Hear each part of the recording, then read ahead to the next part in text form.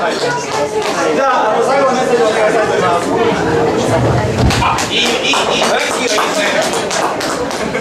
あの、今日はどうもありがとうございました。博多弁で喋って何もわからなかったかもしれませんが、ほとんど名刺交換来ましたよね。斉藤社長、ありがとう。あの今度長瀬飲んで回ることが決まりましたんで、ありがとうございました。ありがとうございました。あとあと長洲に出てくる人は誰かいないですか？小林さんありがとうございます。中松さん中村さんもぜひ長洲に来てください。鈴木さんもぜひ長洲に。あのー、ちょっと酔っ払ってますんで何も言えないですけど。小川さんありがとうね。聞いてくれて。ありがとう連れて行きますからえ夫を連れて行きます夫がいるの残念やね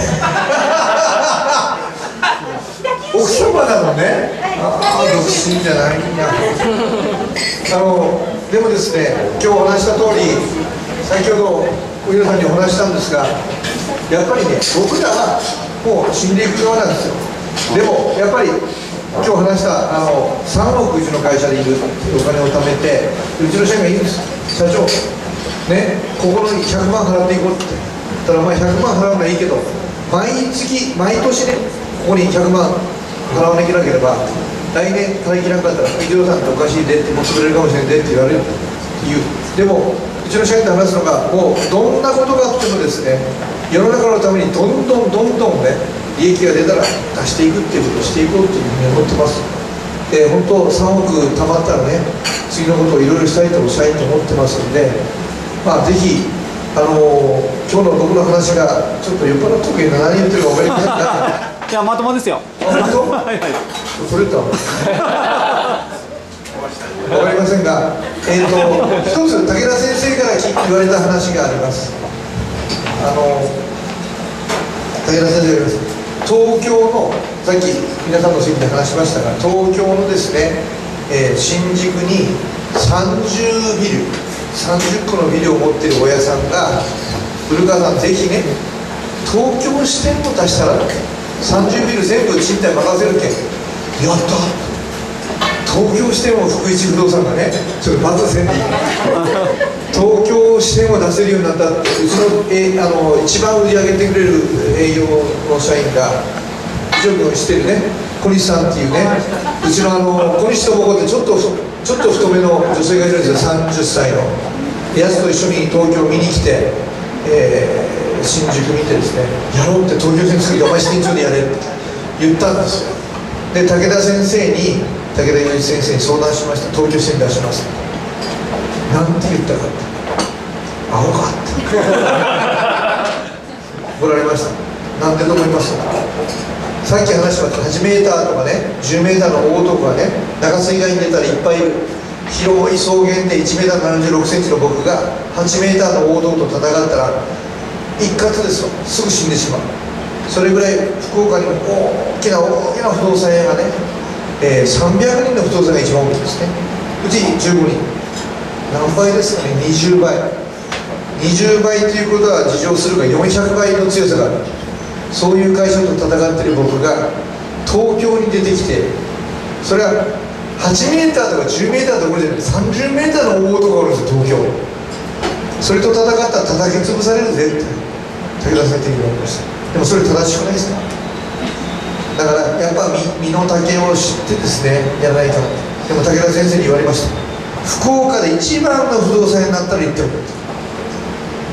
うちの会社の名前名前なんて言ってるかご存知ですか？福一福岡で一番なんですよ。電話番号何番か知ってますか？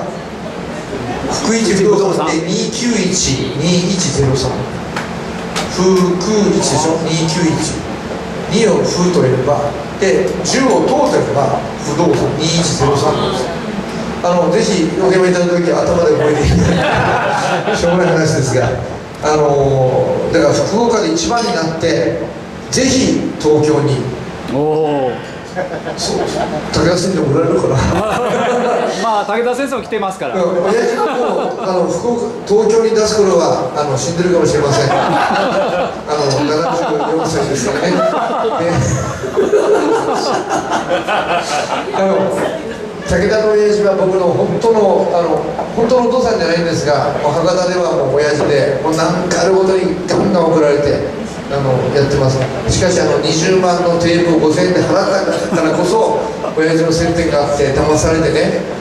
もう250、270万ぐらい買わされてます。いや本当もう西村さんと同じ代理店ですよね僕もね。あ僕らの商品買いたい時はぜひね。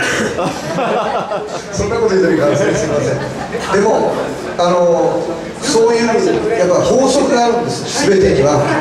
いろんなことをしちゃいかんこういうことしちゃいかんって法則があるんです。ぜひあの西村さんのところで勉強していただいてことを勉強してもらって負けちゃいけません。ぜひここにある皆様です。強くなっていただいていろんなことを学んでいただいて強くなっていただきたいなと心から思いますので。でもしあの質問がある方は今からでも言ってください。僕の携帯番号をお教えします。直接古川に電話いただいてこんなことが分かるんだけど教えてらんねって言ったらお教えしますので、えーこれからもずっとお付き合いできてしていただきますようお願いします。あの酔っ払いですが。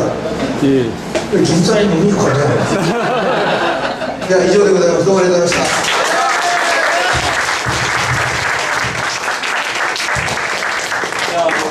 ありがとうございました。